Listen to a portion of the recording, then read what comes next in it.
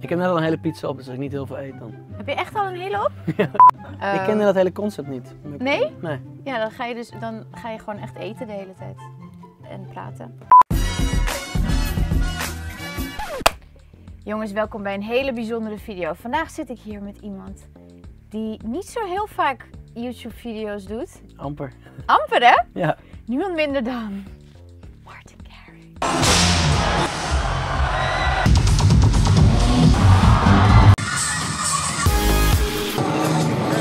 ik vind het echt heel leuk dat we een mukbang, mukbang gaan doen samen. Wat betekent dat we eigenlijk jouw lievelingseten gaan eten en dat is pizza. Top. Toevallig is pizza en patat ook mijn lievelingseten.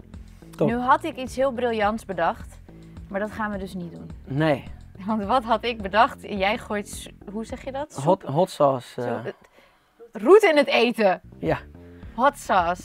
Ja, nee, eh, ik, eh, ik heb een keer een interview gedaan dat ik hot sauce moest eten.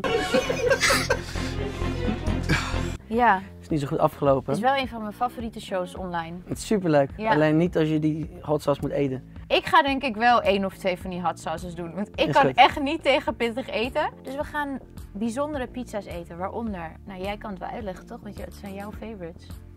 Dit is eh, een gouden pizza. Ik weet niet Ja. precies wat hierop zit. Bladgoud. Bladgoud. Ik denk dat dit de duurste pizza is van Amsterdam. Dit is truffelpizza. Mhm. Truffel is altijd top. En volgens mij is het gewoon een eh, normale. En ondertussen gaan wij jou vragen stellen die de kijkers hebben ingestuurd. Waar wil je mee beginnen? Met welke, welke van de drie? Truffel.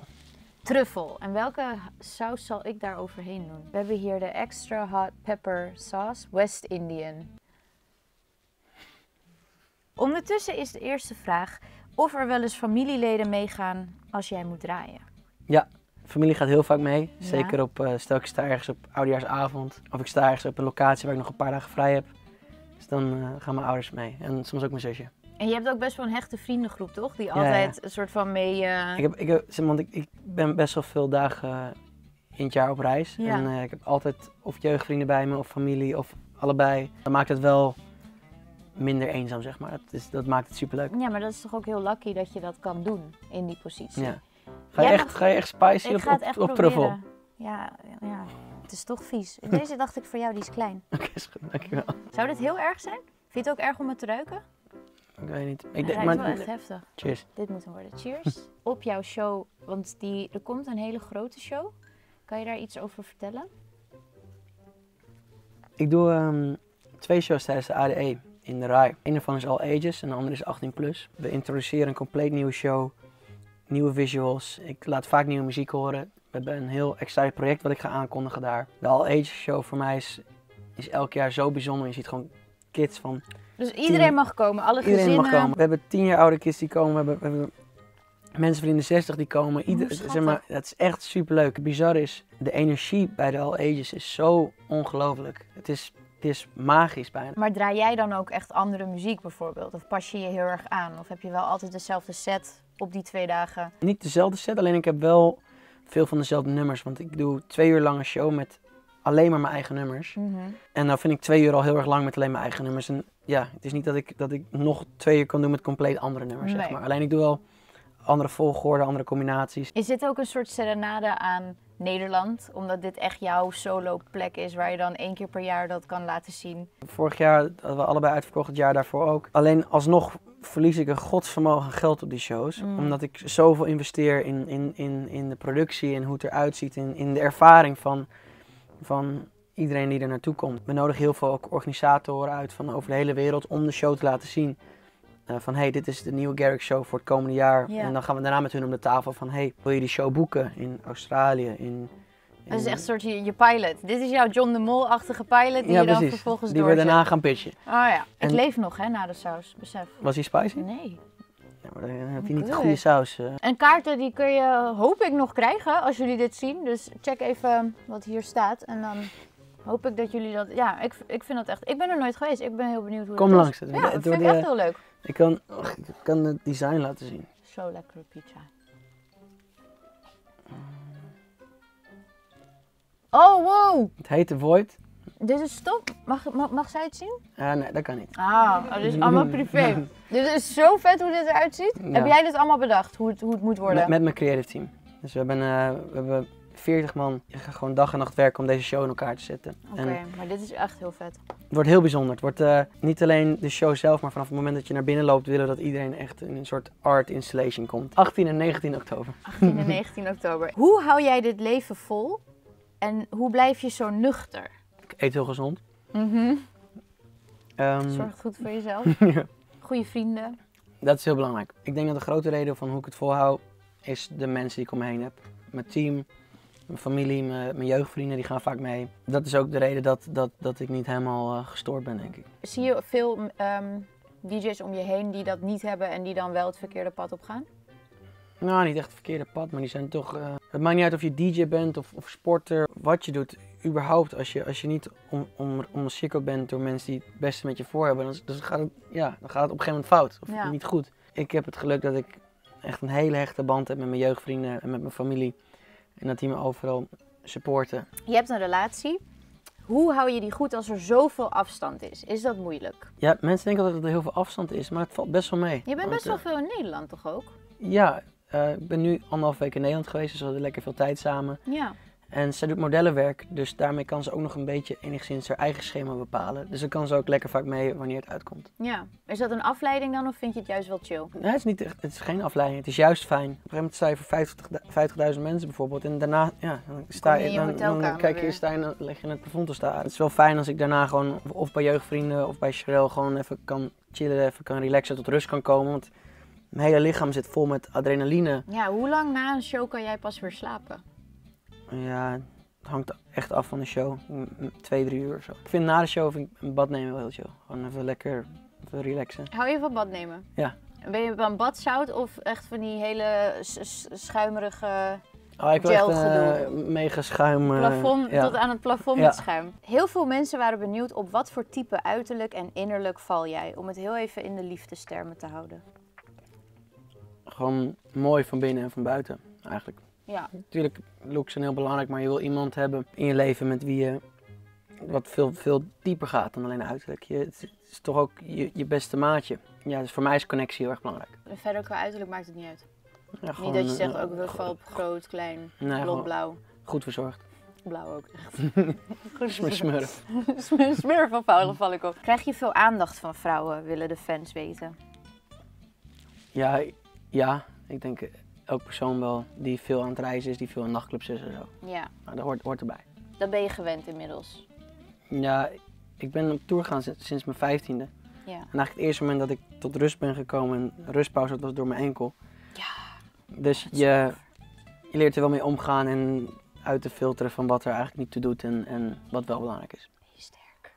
Ik ben niet zo sterk. nee.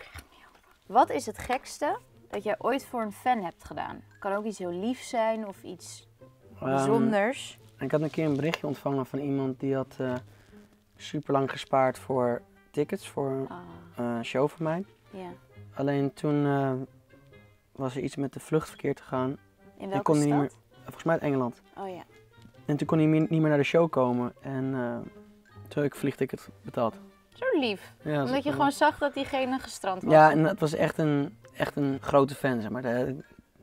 Hele account was met plus X en logo en zo. Dus ik dacht van ja, jij support mij, kan ik iets terug doen. Soms zijn het ook hele kleine dingetjes. Voor sommige mensen heel klein lijken, maar voor sommige andere mensen echt, echt, een, echt, echt iets heel bijzonders is. Je hebt meet and greets, gewoon hier in de studio en zo. Maar dat, dat doen we allemaal niet op op camera. dat, hoeft, dat camera. hoeft allemaal niet. Ik ben helemaal niks zonder, zonder support van mensen. Dus Nee. ik kan wel op mijn eiland gaan zitten en, eh, en, en doen, alsof het me allemaal niet boeit. Maar ik ben hun net zo dankbaar als dat hun mij dankbaar zijn voor mijn muziek. Zeg maar. Deze nuchtere instelling is waarom je hier bent.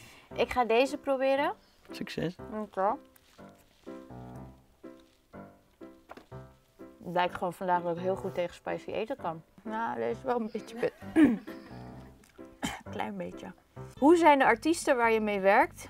En heeft het ook wel eens niet geklikt? Voor mij is het heel belangrijk dat ik connect met, met de artiest. Ja? En, ehm, en natuurlijk, want je gaat, toch, je gaat toch iets maken samen. Nou, en ik moet wel eens ook dingen maken met mensen waar ik niet per se een klik mee heb. Als ik in jou was, zou ik meteen weggaan. Maar dat kan toch niet soms? Maar misschien is dat in de muziek. Met met de muziek is het anders. Ja, het is, je moet toch echt een, een connectie hebben om, om iets om überhaupt te willen werken. Want als je, het is niet dat de track in 10 minuten is gedaan. Je gaat Ja.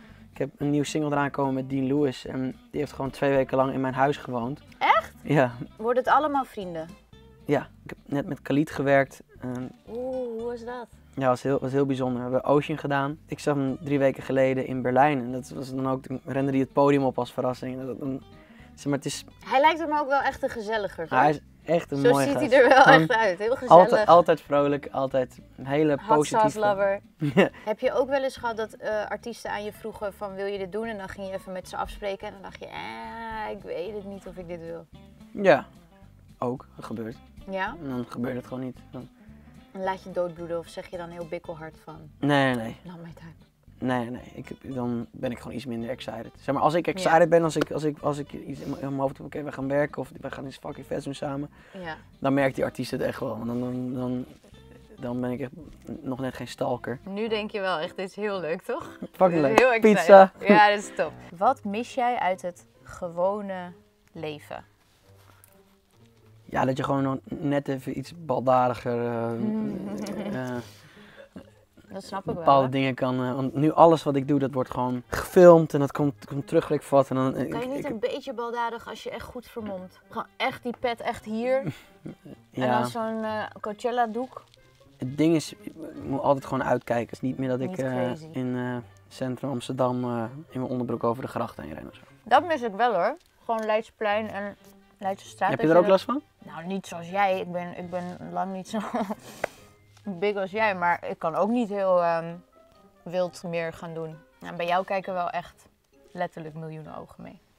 Nog meer stress. Ja, geen pressure verder, maakt niet uit. Heb je tattoos en zo? Ja, welke? Ik heb geen enkele tattoo.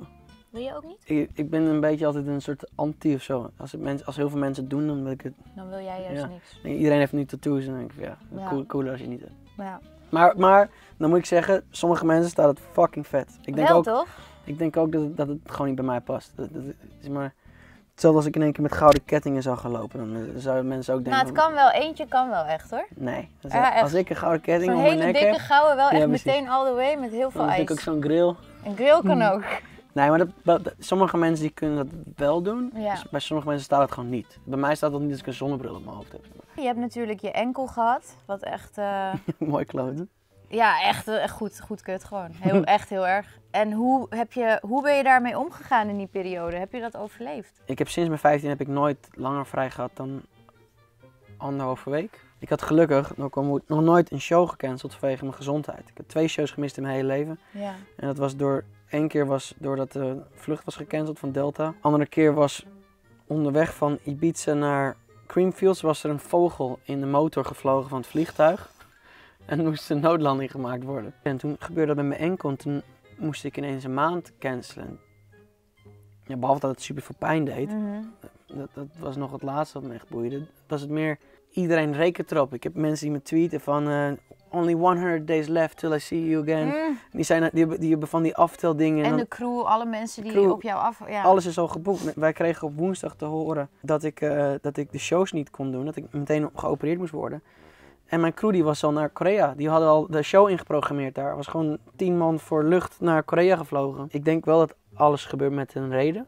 Veel tijd met familie, vrienden, met Sherelle. En ik heb ook heel veel nieuwe muziek gemaakt. Ik vind dat je ehm, niet zo heel goed hebt gegeten, maar dat is oké, want ik heb het goed gemaakt. Het blijkt dat ik hartstikke goed tegen hete sauzen kan. En eh dankjewel dat je dit wilde doen. Gezellig. Vergeet de show niet jongens, vergeet Martijn niet te volgen. En ik zie jullie heel snel weer. Dankjewel voor het kijken. Bye.